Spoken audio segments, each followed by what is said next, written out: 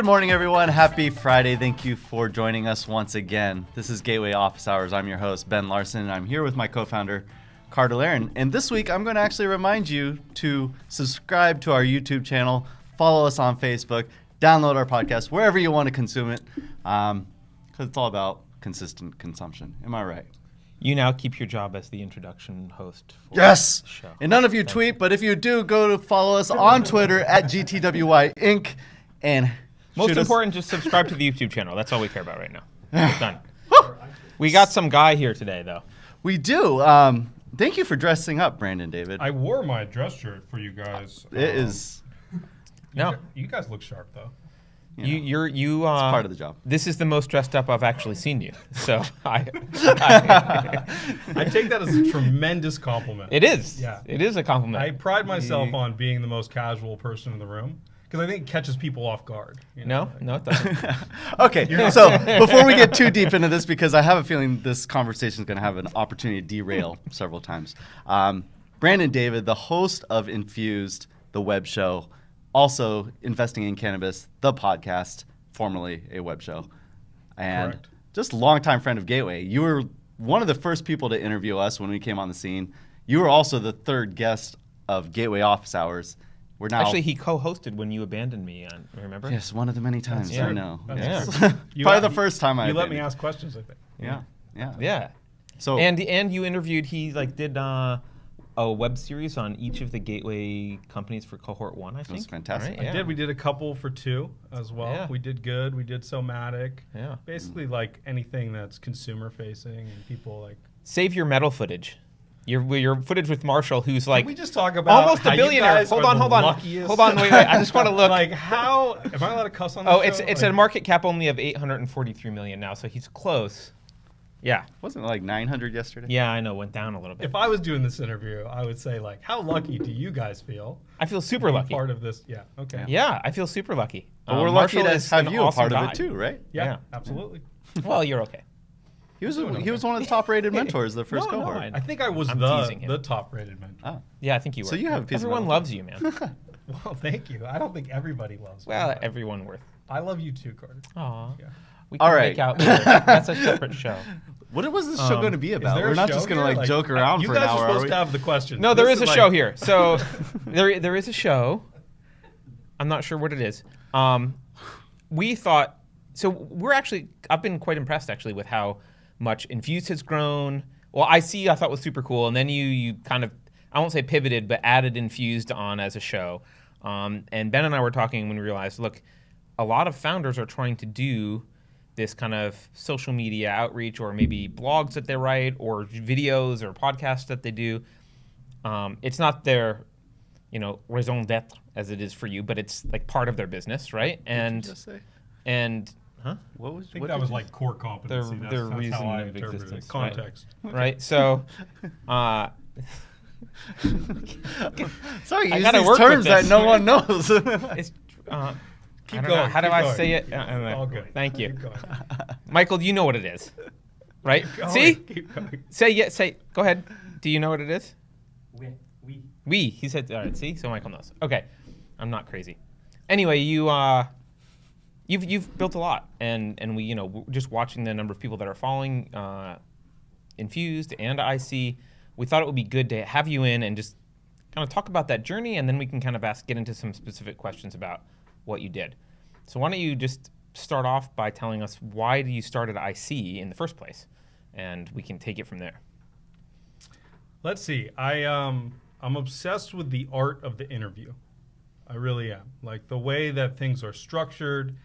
I'm a big fan of Oprah and Anderson Cooper and Charlie Rose and like I watch all these people. Like I pay attention. Um, and the one thing that they do is they ask good questions and then they shut up. Um, and that's something that I've tried to learn to do is like really let the guests sort of mm. own it. You know, people are here to listen to the guests, learn about the guests. So I really learned this art originally from Jason Calacanis. A lot of people know is a big angel investor. Great interviewer. Incredible interviewer. Yeah. Does This Week in Startups, which I worked on for a long time. Also does the Launch Festival, which does these big, like, sweeping interviews with Elon Musk and Tim Draper and, like, these, these tech giants.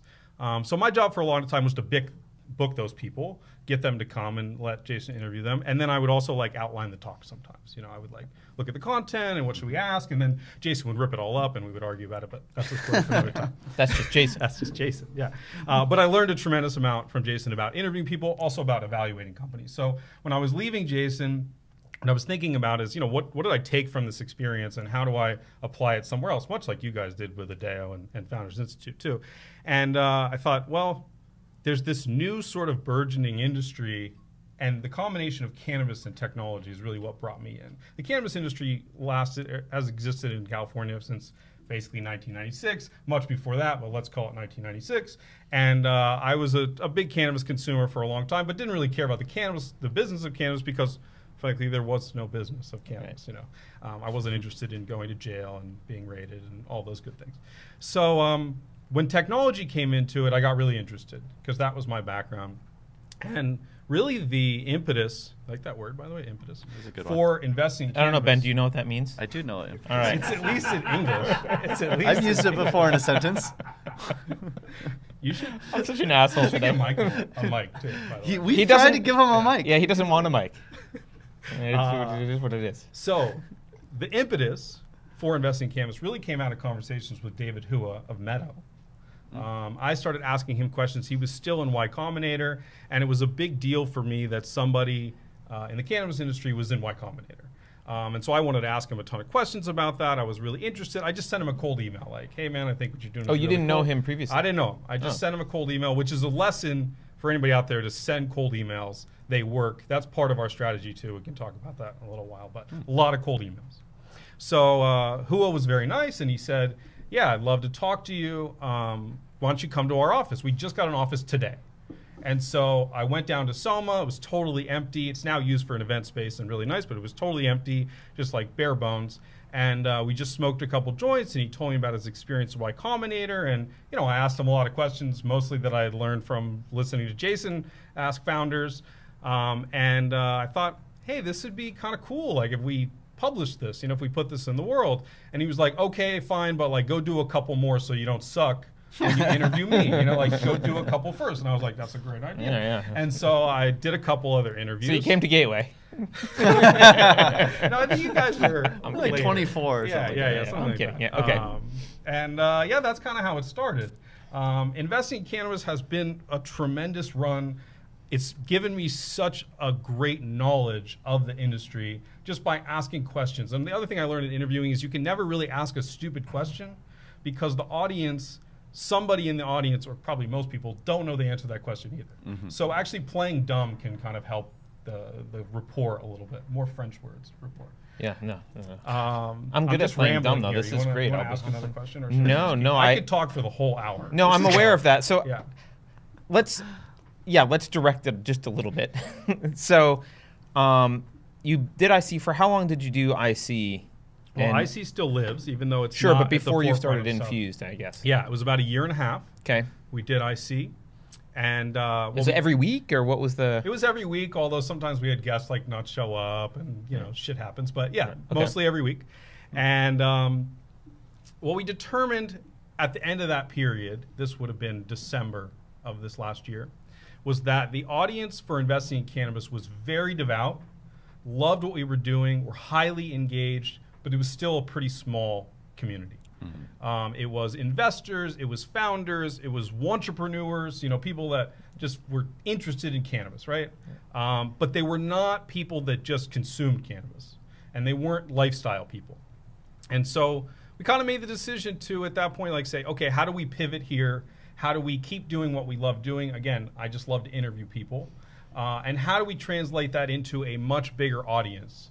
Um, and the obvious transition was in consumption, in consumer. So wait, let's pause there for a minute because was your goal just you and I talked about authenticity off camera earlier. Um, was the goal a bigger audience, or was the goal to do something that was more in line with what you wanted to be doing? Because you have a, I mean, you work at OnFleet. It's not like you rely on IC or Infuse for income.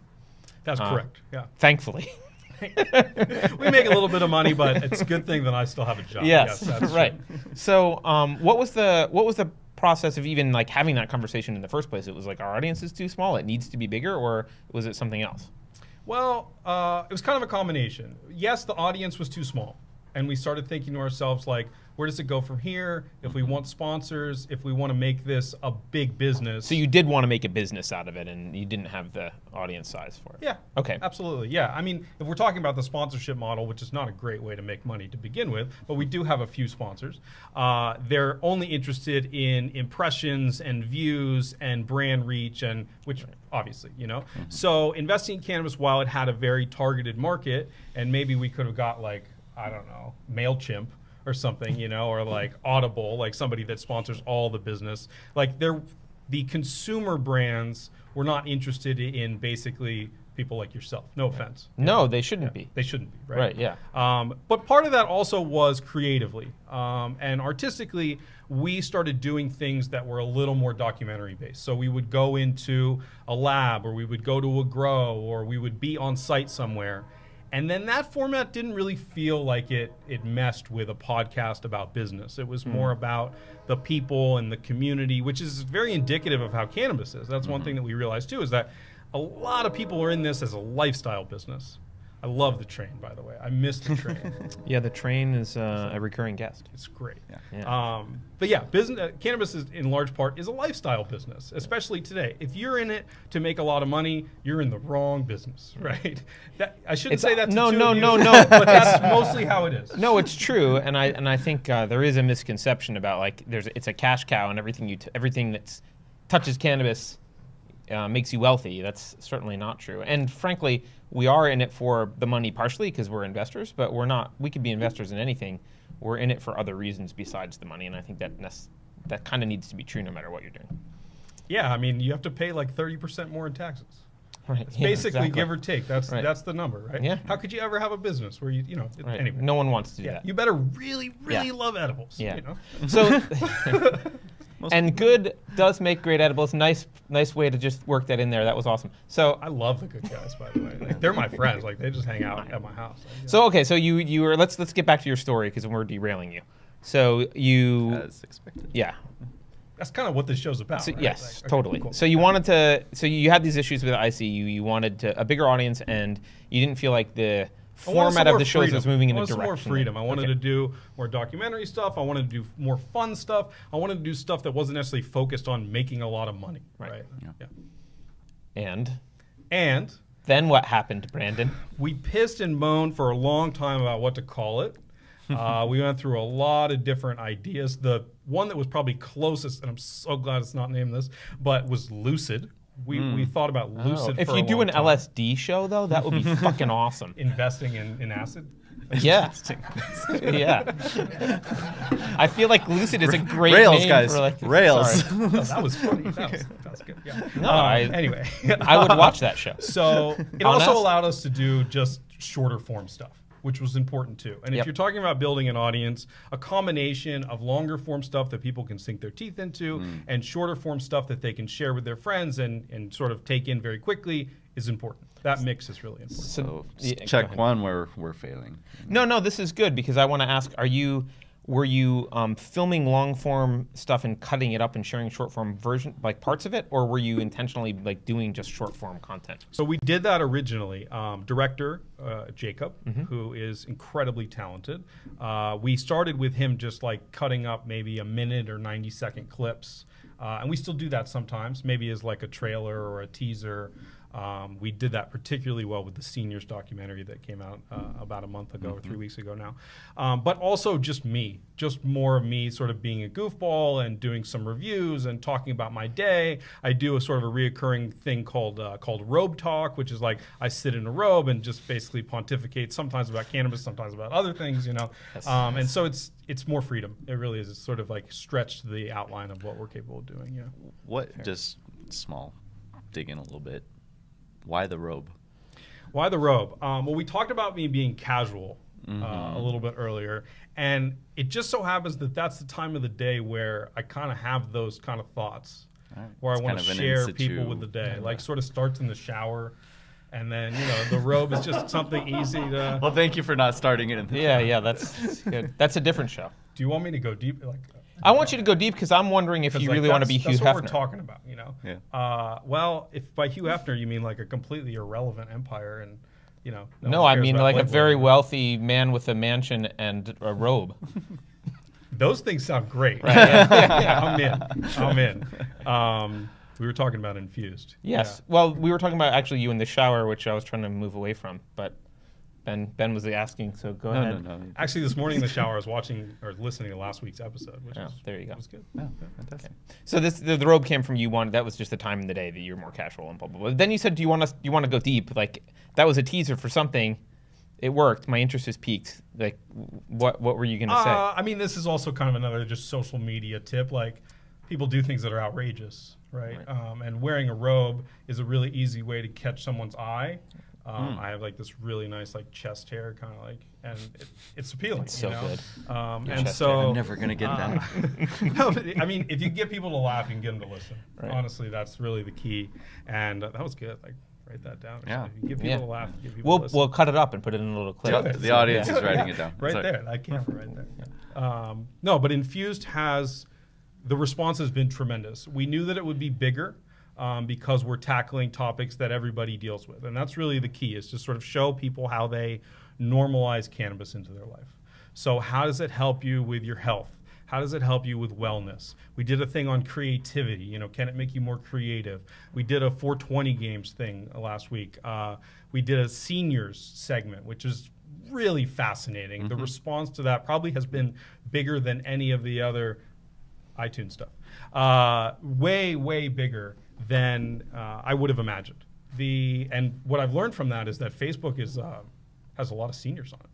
Really? Yeah, I wouldn't have guessed that. I, I didn't either. Um, but then it kind of makes sense. Like all of the kids that were on Facebook have left Facebook because their parents are there now. That I know. Um, yeah. Well, and those parents are getting older, right? I mean, like I my guess so. parents are on Facebook, and like Yeah, my parents are on they're in Facebook, their too. 60s, you know, whatever. So that's a senior.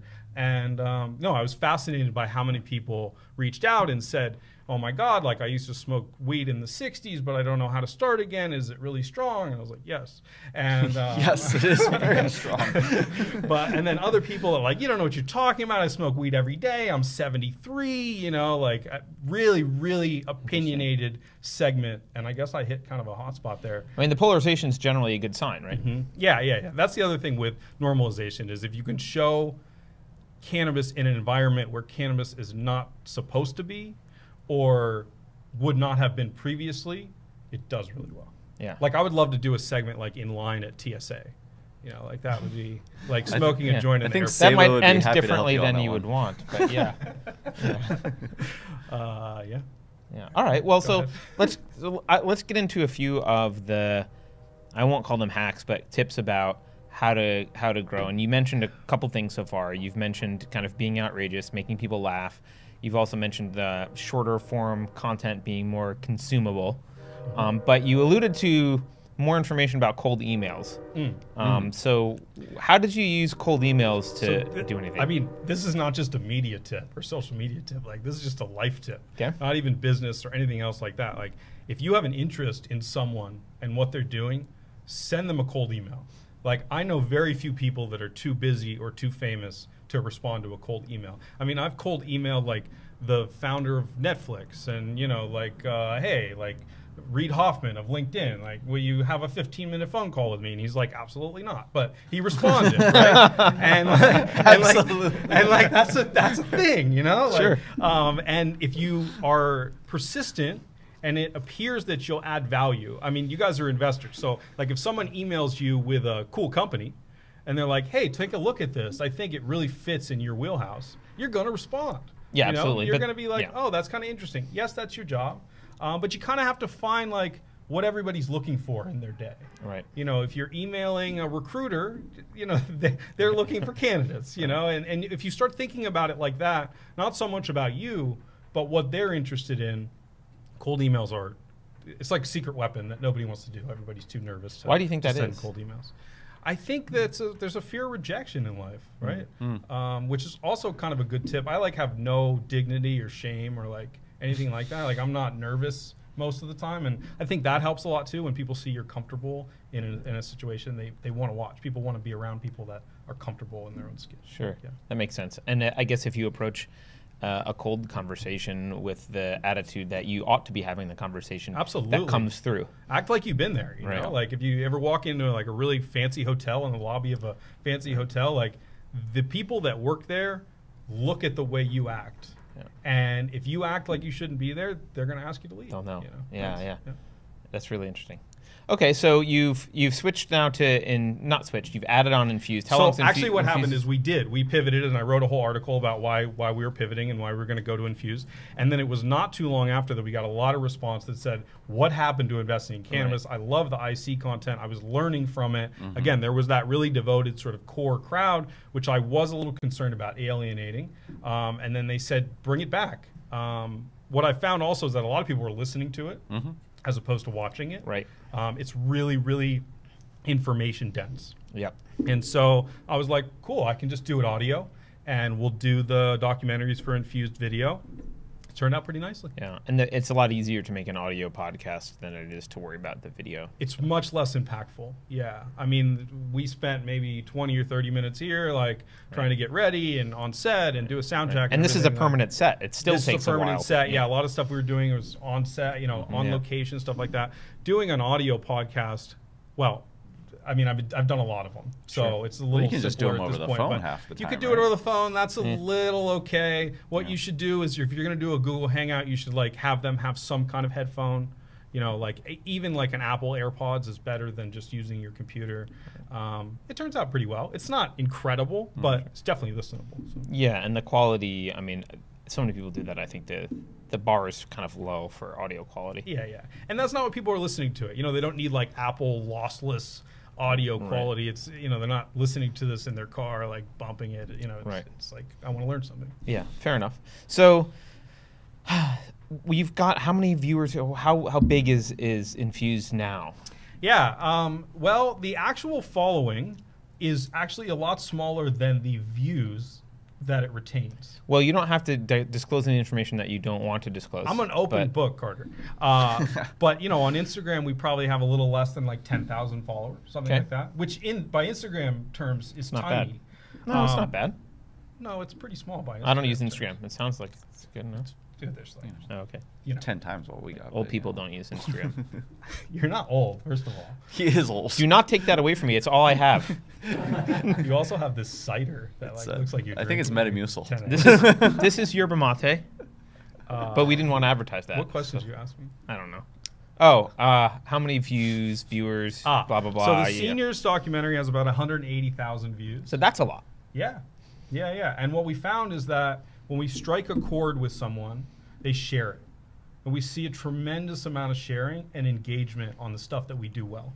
And so, I mean, if you know anything about social media, basically anytime you engage with anything, it shows it to your audience, and that's multiplied. So each time somebody engages, that algorithm realizes, re-realizes, hey, this is important. So it pushes it to more and more people. So right? it That's seems like the, the what it works. topics that you're doing with Infused are more shareable and more likely to strike a chord with someone. So the the, sh- the amount of sharing has probably increased dramatically compared to IC, right? Absolutely. And we get some of this, like, look how cool this is.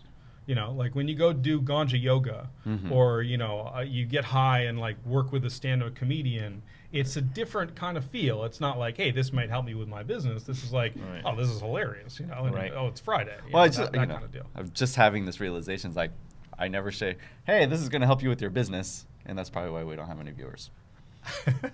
Yeah, I mean, Framing the conversation is important. Framing fortunately, that's not uh, critical to our business, but um, it actually does make me think of something that we have only recently realized, which is that um, we were not really utilizing our LinkedIn networks as much as we could be for Neither advertising stuff. And Yeah. I think for a lot of things, probably IC is one of them, but definitely some of the stuff that we do. Um, totally the LinkedIn agree. audience is more appropriate than the Facebook audience. Like, I, you know, I'm obviously I'm an investor and I'm in business. I I don't learn any business crap from Facebook. Facebook is for the that time in the morning when I don't want to get out of bed and I'm reading shitty articles and going through click holes. Like that's not, you know, But- or, or getting entertained but by a guy in a robe Facebook unpacking something. be right? Yeah, that I mean Totally. that's entertaining. Right, So yeah, I've absolutely. um, uh, Facebook is so cluttered. That's really the answer. When you post something on Facebook, you could have 10,000 likes on your Facebook page. It's not guaranteed that any of those people see it. Right. Right. And that's just the way it works. And that's the way that Facebook has set it up to make money, which they've done a beautiful job at. Shout out Sheryl Sandberg, like my hero in life, lean in. But um, yeah, they've set it up in a way that basically if you don't spend any money or you don't get a lot of very early engagement, no one's going to see that post. Right, It just, right. just doesn't happen. And that's the way they've set it up. So yeah, that's why Facebook is not a great outlet for a lot of things, really. Yeah. But it is good for kind of tracking news, I think. Like if you the big news of the day I is do see news, I guess, on Facebook a little bit, yeah. Facebook, yeah. But but not in depth like educational material on Facebook. It's more news. There's nothing in depth on the internet. Where, where are you finding in depth things on the internet? Oh, there's some really in depth things on the internet. Uh, You're just in the Maybe wrong we should spots, not go down this rabbit hole right so. now. Yeah. Okay. No no, no, there's some great stuff. No There's like, rabbit yeah. Carter has a lot of great stuff, and What? you have, No, the, you have the best things. I have all the best things, and my hands are big. Um, Next question. this is just a clusterfuck. Um, so okay, You invited. I me. know, I know, What did I you know. Think was gonna happen. no, this, this is what I expected. Is this It's what I fine. missed last time? Yeah, yeah, no, it was better last time because I think We had questions. Yeah, we had questions. So, um, I, I actually do. I do want to still dive into this because Yeah. you know the purpose of one of the purposes, one of the main purposes of this show is is really we're talking to founders and we're trying to you know help them out. And so, you know, you've got how do you? I guess one thing that a lot of founders say to us, they look like deer, deer in the headlights. On obviously, when we say like go do blog posts or go do something like go make yourself a thought leader somewhere, a lot of times we get this deer in the headlights look They back. go to Google and they say, "How do I right, do a blog?" and they're like, well, what do I write about? What do I say? What do I talk about? How do you choose? You know, you're talking about if you do the right thing or you do it right, it really resonates and you get this kind of virality to it. How do you make the choices of what to talk about? yeah, you can I mean, talk about anything. Those are all like tactical moves, right? And you sort of have to have a core piece of content before you can do any of that. I mean, I think uh, it comes down to authenticity. Um, we were talking about this a little bit before the show, but if you look at really successful people in the world, celebrities, business people, whatever, people that have gotten to the top of their game, they're extremely authentic. Um, they don't have moments where they feel like they're trying. Right. It feels very effortless, and they do and say what they want to, and that just happens to be in line with what the audience also wants. So are they uncensored in some way? they are very uncensored. Okay. Um, it- one of the great ways to look at this is like if you think about a rapper. Okay. Um, all rappers talk about how they're rich and they get lots of girls, and you know they're the best rapper alive. Right. Everybody says they're the best rapper alive, but really only the handful that actually are rich and get girls and are the best rappers alive anybody cares about, right? Right. And it's kind of the same thing. Like you have to live it, you have to do it. I really love cannabis. I really like startups. I like the challenges of early stage companies. I like technology. And I, I think that comes through. And, and the team is no different. I mean, our director, he has a marketing agency during the day. Shout out Jacob and Letoulier. Uh, they make Kickstarter videos and, you know, like real technology stuff, like way bigger than what I do. I'm like the little client that they have, you know? Um, Eric works in the cannabis industry. The producer, Eric, works in the cannabis. He's a consultant in the cannabis industry. Like, it, it's us, you know? Right. And I think that comes through. So authenticity is your kind of number one recommendation. Well, on two levels. One is it's very appealing for a following, but two, it's the only way that you ever work hard enough Yeah. and do enough stuff to become successful. You have to give a fuck about what you do. Can I say fuck on this? Is that, is that It's too late. I don't think it's going to be censored. Yeah, yeah, you can say fuck. So Just be um, your authentic self. So, so I, I want to actually dig into that a little bit because uh, authenticity doesn't guarantee success. You might be authentic, but no one likes your authentic self. That's correct. That's totally a possibility. yeah, yeah. Um, Um, you're laughing like there's, you know, yeah, there's a lot no one in the room like is like that at all. No. I'm sure. No one in the room. Um, I think you also have to be really honest with yourself. Like, um, I constantly reevaluate does anyone care about what I'm saying? You know, does anyone give a shit about this topic? And if they don't, then I'm talking about the wrong topic, right? Um, I have to be interested in it to do it, but you have to be interested in it to listen to it. And it really is a two way street there. And so I've tried to keep my ears open and say like, what are the issues that people care about? I mean, last week I was listening to the really intense like uh, legal discussions that you were having, which I learned a ton. But like I was thinking to myself, the people listening to this episode have a business, right? Yes. They have a business in the cannabis industry, and that's why they want this information. So if you're talking to those people directly, that's what you want, you know. Yeah. And you just have to know kind of where your audience is. But then I also think about it in addition to like, where's the next cohort of audience? Where's the next tranche come from? You know, um, I'm working on a really interesting documentary right now about driving, uh, about cannabis and driving.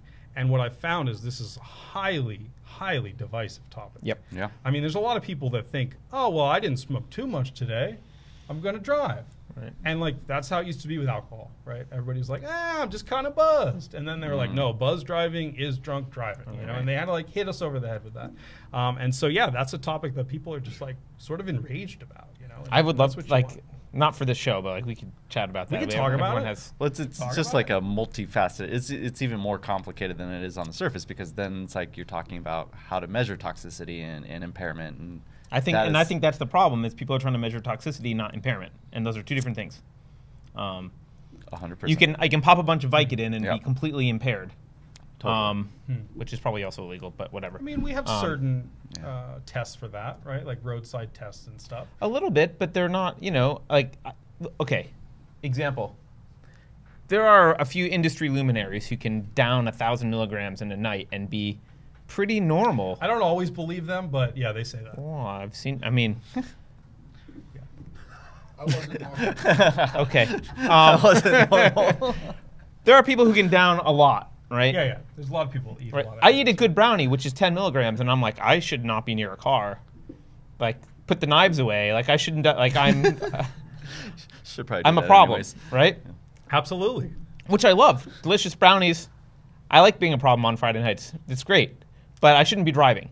But there are other people who can who can eat a good brownie and like literally, it it doesn't feel they don't feel anything. They have zero impairment, um, and it's a tolerance issue. And I Then they should probably wash it down with a somatic. right, but I, but I, you do see Plug. yeah that was a that was was pretty good. good. That's pretty good. Yeah. But but you do see, I think in cannabis, and again, I don't know that there's been studies on this, but it seems like the variance in tolerance in cannabis is much higher than that in alcohol.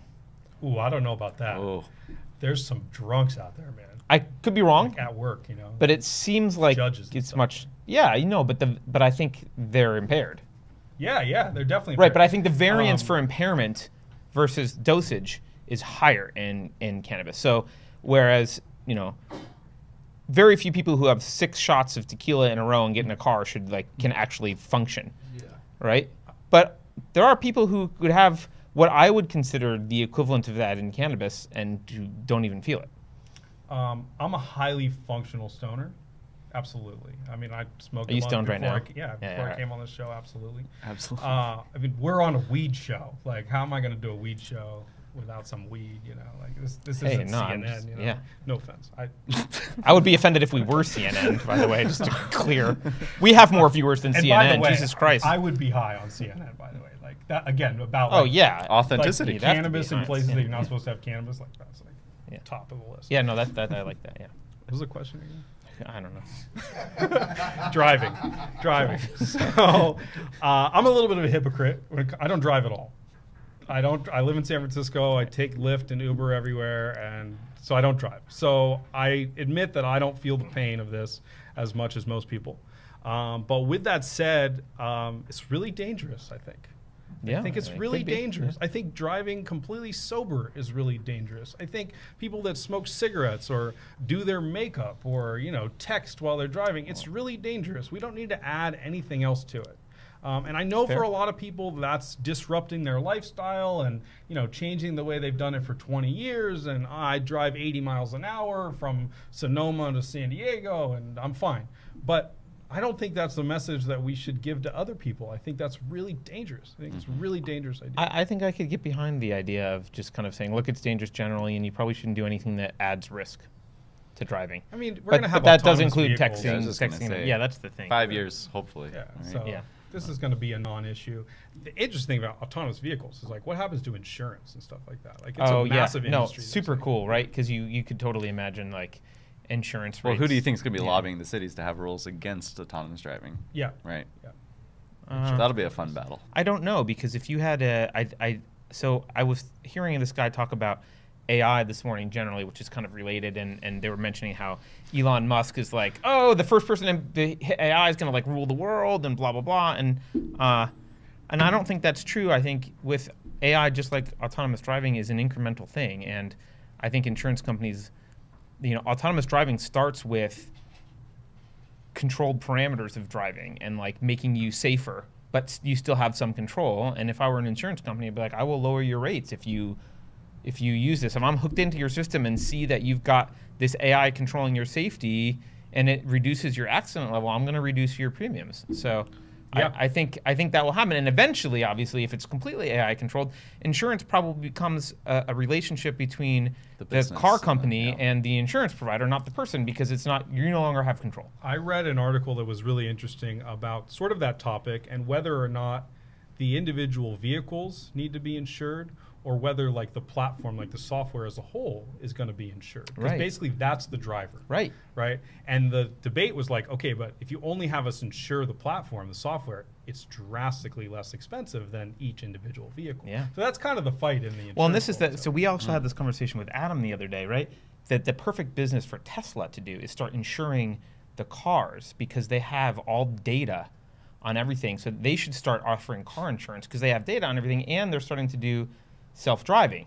Um, so they're actually the perfect insurer because they know the risk better than anyone else does, um, and can probably offer better premiums.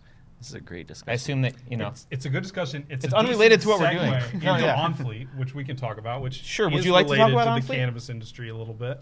Uh, shout out OnFleet. I'm not there right now because I'm here. But Right. OnFleet's super interesting because it's like a backbone of it's a quiet backbone of the industry. I a, We're a reporter like called me go-to recently. uh, logistics platform in Right. the cannabis industry. Basically, everybody with the exception of Eaze, uh, which started building their stuff prior to us getting it in front of them. Mm-hmm. Um, but yeah, everybody else in the industry uses OnFleet and sort of quietly, which is kind of a cool, like mysterious. Sure. to. Sorry, I just plugged you on a on a news article that was. No, no. So someone called No, me no, no. and I was- It's not intentionally quietly. It's just it's very much like a B two B product. There's and there's no Um, risk for you guys. It's just software, right? Basically, right? It's I just mean, software, and what most people in the cannabis industry don't realize is that it's about twenty percent of OnFleet's business, give or take. Oh. So there's like a massive other side to OnFleet. We deliver prepared meals and restaurant food and alcohol and laundry and all these other things, right? Right. So um, cannabis is a really cool thing that uh, we support. We have so many dispensaries,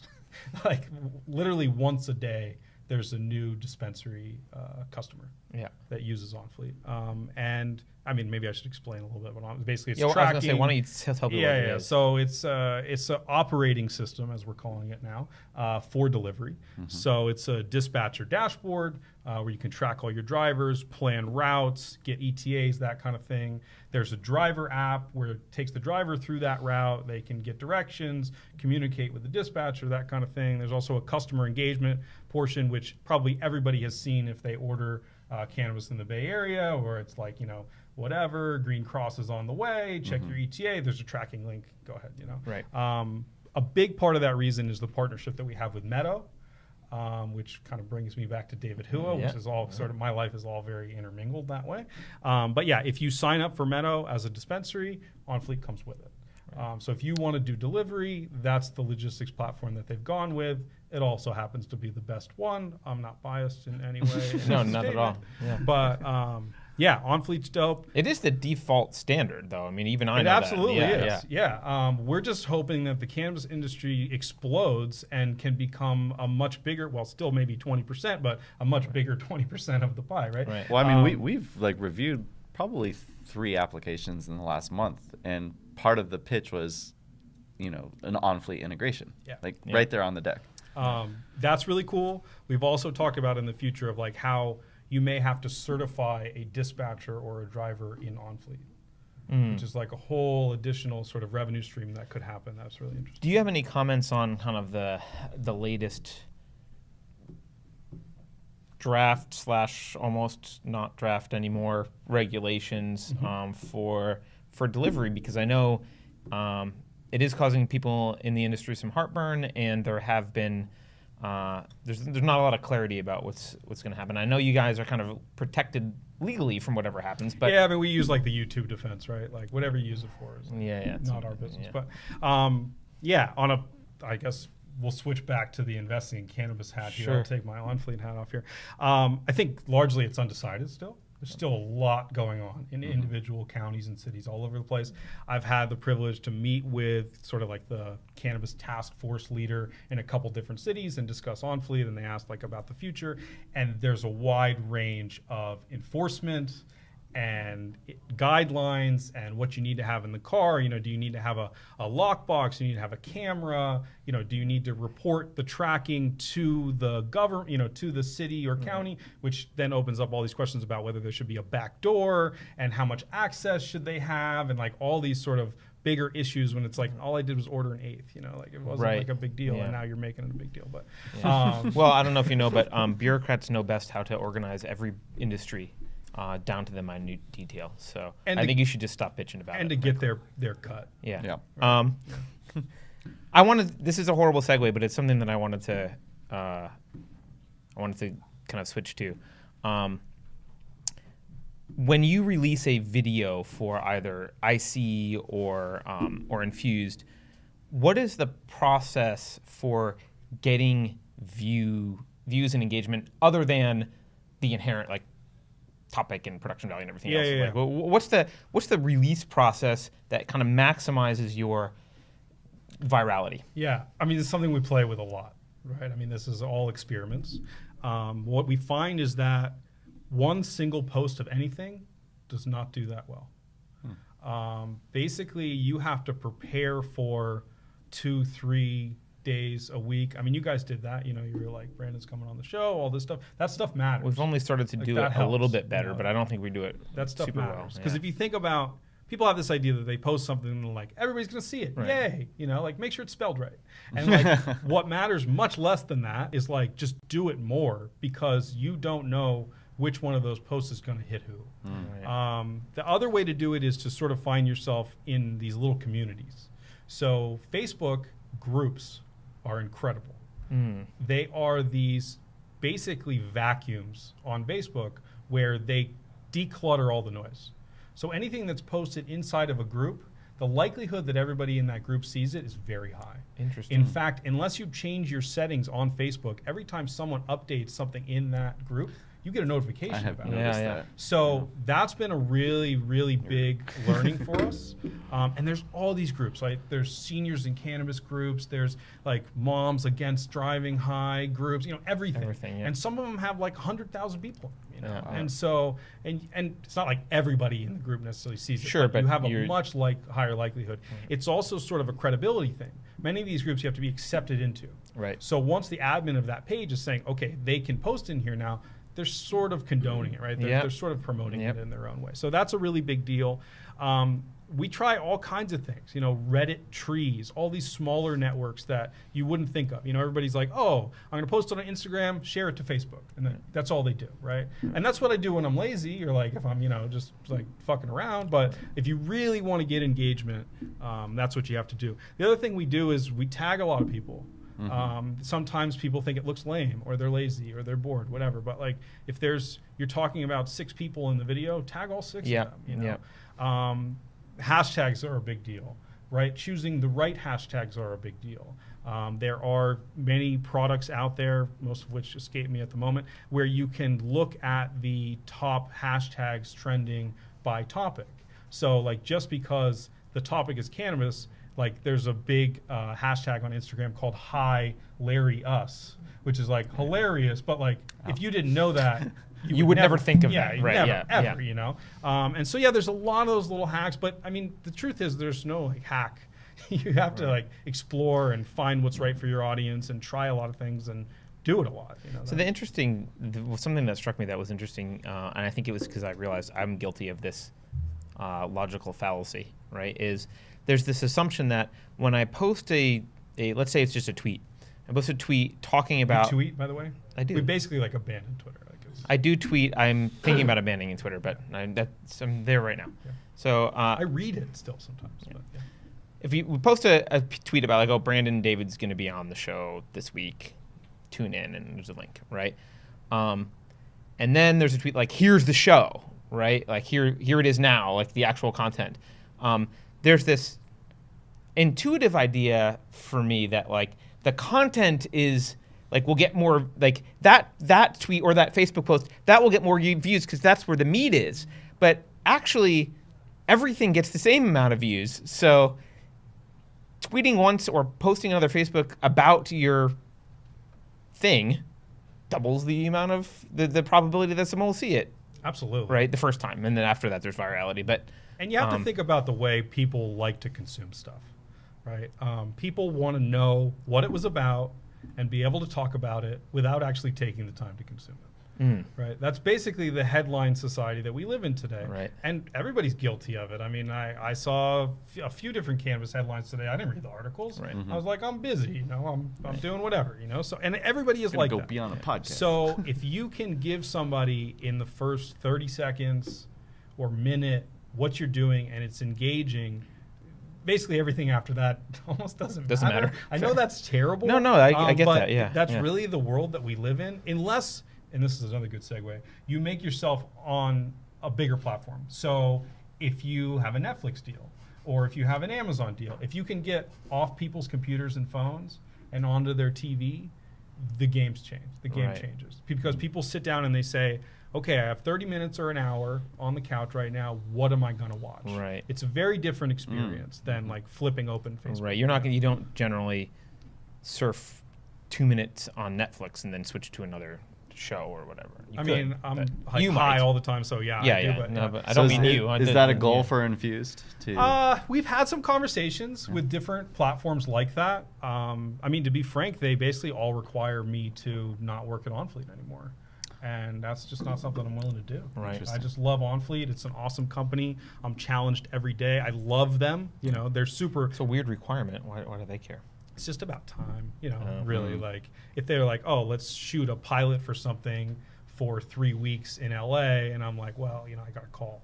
Right, yeah, I can't do that. yeah, Yeah, doesn't, fair enough, doesn't really fair work enough. that way, you know. Um, but yeah, we've had some of those conversations about syndication. We did a partnership with Herb Mhm. uh, a little earlier in the year. That turned out really well. Um, you know, ha- I have some videos like half a million views. i was gonna say they and have a that. wide uh, viewership big, big audience. Yeah, Yeah, Um, yeah. and they do all the short form stuff. Right. Like the stuff that I did was out of the box for them. Um, Interesting. like they do all just like, I'm gonna hit this 10 gram uh, dab right now, you know, or like watch it's me a two-minute video in the end, or Play the piano, you Okay. know, like it's all just like very approachable kind of stuff, which maybe is a lesson too.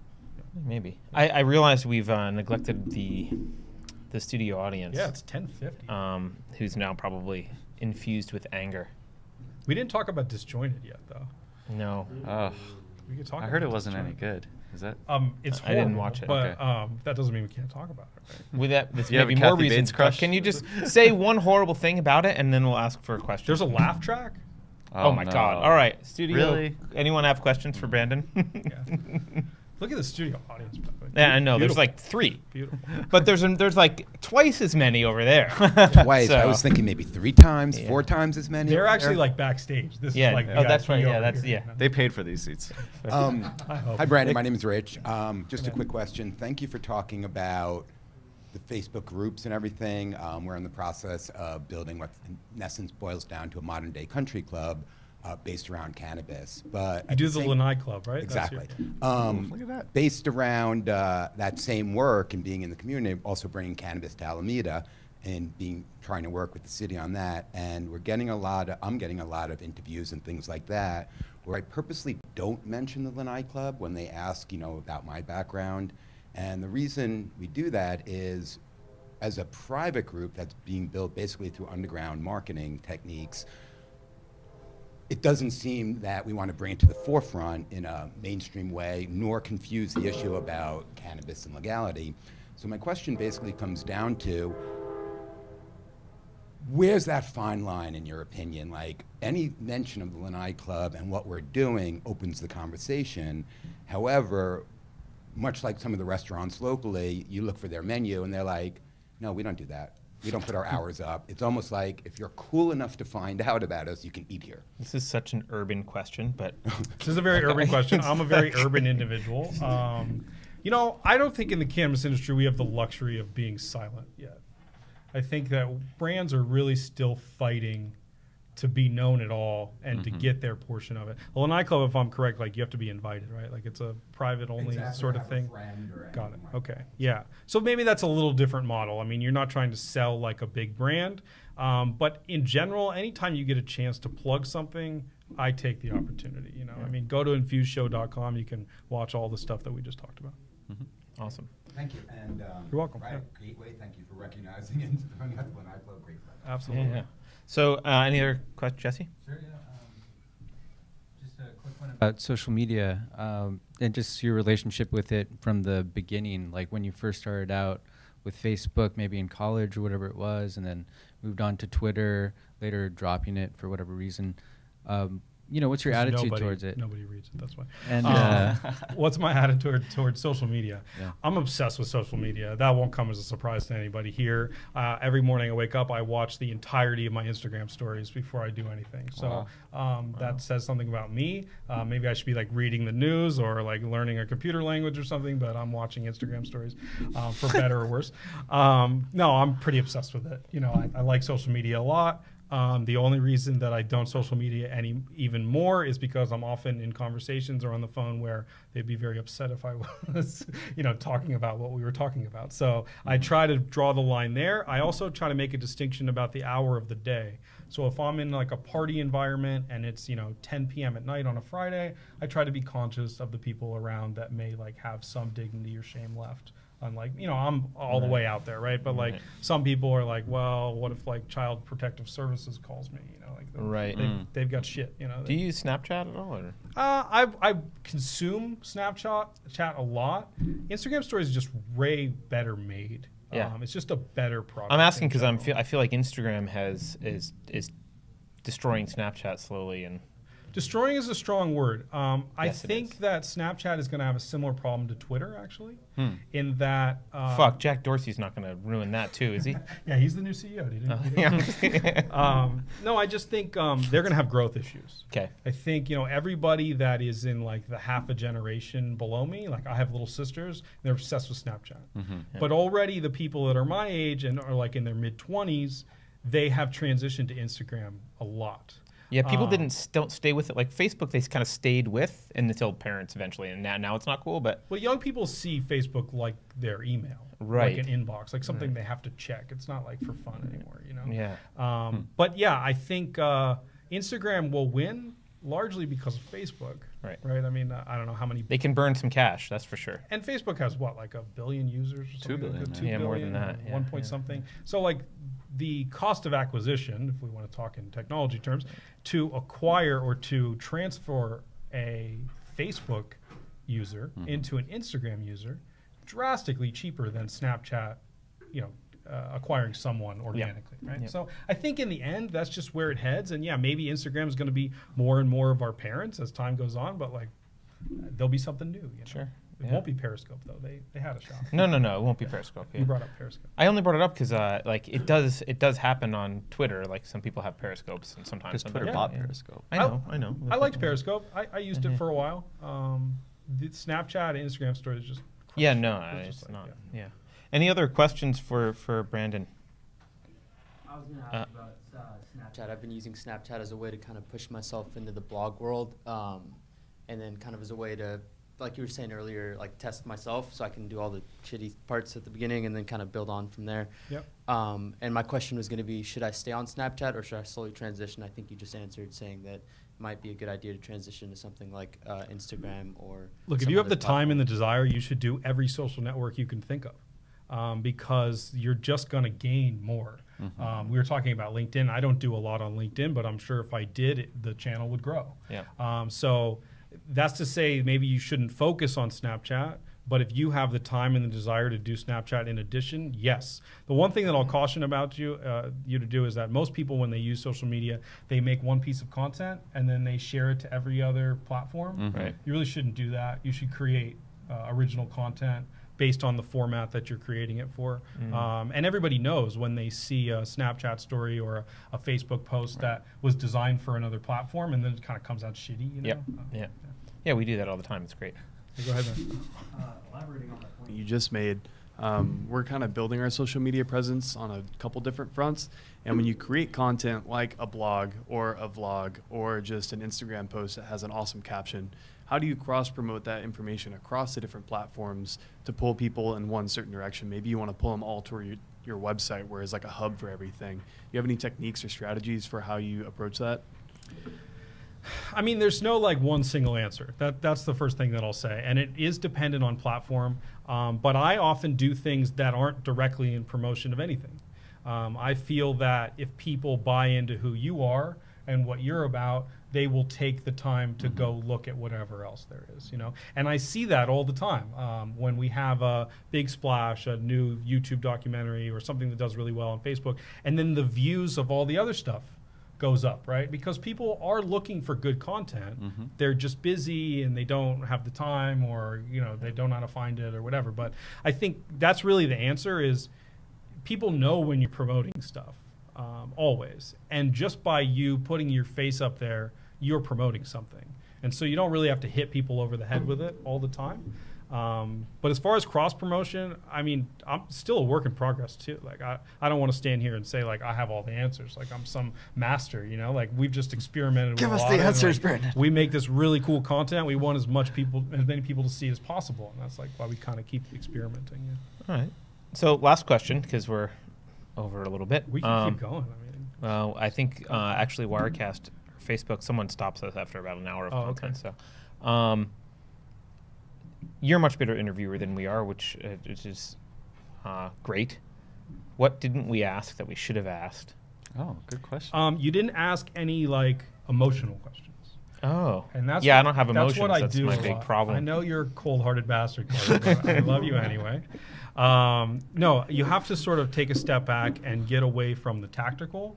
Hmm. Um, and what I ask people a lot is like, you've been here since the beginning, right? You were an activist in 1996, and you marched and everything on the cusp of legalization. When you could walk into a store and buy weed, anybody can buy weed. How does it make you feel? Interesting. And then people, first of all, they stop for a second because that's not an answer that they have. Ready Right, go. yeah. Um, and what you're trying to get again is something authentic. You know, something that's a little more emotional. You know, because that's how people connect with it too. Interesting. So, Brandon, um, Go So, ahead. yeah. so Ben, do you have a question for. Brandon? Let's do it. being a longtime consumer of cannabis and uh, having seen the evolution of an industry, how does it make you to feel to be on the cusp of legalization, where we can walk into a store and potentially just purchase cannabis with an ID? I think I feel really lucky. Honestly, I feel lucky to live in this time period. I went to college uh, in University of Arizona some time ago, like ten years, eight eight years ago, and um, it was like a big no no, right? Like we were like smoking weed in our frat house, like under wraps, like oh man, don't let anybody in, like make sure the smell doesn't get out. And so to be here now, like on a business program about cannabis where like people actually care what I have to say about weed, like that's I feel really lucky to sort of have a part in that. Not just professionally, but just like to live in this time and this environment. You know, it's cool. That was Awesome. great. Well, we're lucky to have you. It was a good tip, right? That was yeah, it was a awesome. great tip. Yeah, yeah. Uh, in fact, We'll just I cut should off just the rest ask of the you show. about- We'll yeah. just Just do that. show you that could. part. You just just do that. that's part. our short form content. awesome, Um, guys. Thank you for coming, man. Uh, Absolutely. We didn't get to talk too much about you guys. I had some questions for That's you. right. I We'll mean, do it again. Maybe. We'll do it again. we talk about ourselves enough. Uh, but uh, yeah, thanks for coming. How can people get in contact with you or see your stuff or whatever? What- Infuseshow.com. Investing in cannabis lives at infuseshow.com. You can go to investingincannabis.tv as well, but it's all goes back to infuseshow.com. Uh, that's where the documentaries are. You can follow us on every platform that we already talked about. Uh, we do well on just the general Apple podcast as well. Hmm. Um, if you want to watch Robe Talk, you kind of got to catch it sometimes. It's like Robe an Talk. inspiration. Robe talk, robe talk, robe talk. You ha- it's sort of like an inspirational thing. It's not like on a set schedule or anything. So you kind of got to catch it. That's like generally just in the in the. I've caught it before. and I- now stories. feel lucky because I didn't know that I was. It's like a catching it. pop up shop. It's like Lucky a was not shop. the word I was feeling. uh, yeah. It's been awesome to be here, guys. I was looking at the old YouTube that we did, uh, 55 weeks ago. not episode three, but the investing in cannabis Oh, episode that we did, and specifically you, Ben. Like I listened to the first couple questions, and you were like a little nervous and a little hesitant, and like I don't know how to talk about this, and I don't know how to talk to you, and like all this stuff, and just watching what you guys have done, speaking at things, and hosting this show every day. Like congratulations to you guys. Like you're Thanks, man. blowing up. Yeah, no, thank you, and uh, you know you've been there from the beginning, and we love you, man. You're you're part of the family. So thanks for coming in. We're gonna wind it. There was no emotions in that screen. content, though, just to be clear. uh, join us next week. Where am I looking? Here. Join us next week, Friday, 10 a.m. We have Marshall Hayner from Metal, Yes. who will who will be a billionaire by next week. That's the goal. um, but uh, yeah, Marshall will be on the When show. you write your memoirs, that's going to be the most interesting. Honestly, topic. the I told Diane is. last night the the thing that I am most proud about, which is a minor thing, is like I named metal. Well, and I'll be no one liked the name at the time, and people still don't like it probably, but I don't care. It's fucking blowing up, and I'll be like, yeah, yeah, yeah, we, yeah, we named metal. that's dope. Yeah. all right. So, There's something. but I'm- yeah, no, Marshall's There's something be, I'm more proud of, but that'll come next I'm, week. ki- I'm kidding. That's I not my most had proud a kid, thing, right? Like hopefully that's oh, the well, there's that too. He means business wise. He means business wise. My business wife's wise. gonna kick my ass. yeah. But uh, yeah, join us next week, 10 a.m. Uh, follow us on, uh, I don't know, go to YouTube, subscribe to the channel, of all the stuff. All the things. Yeah. Do it. See you next week. See you guys. Thank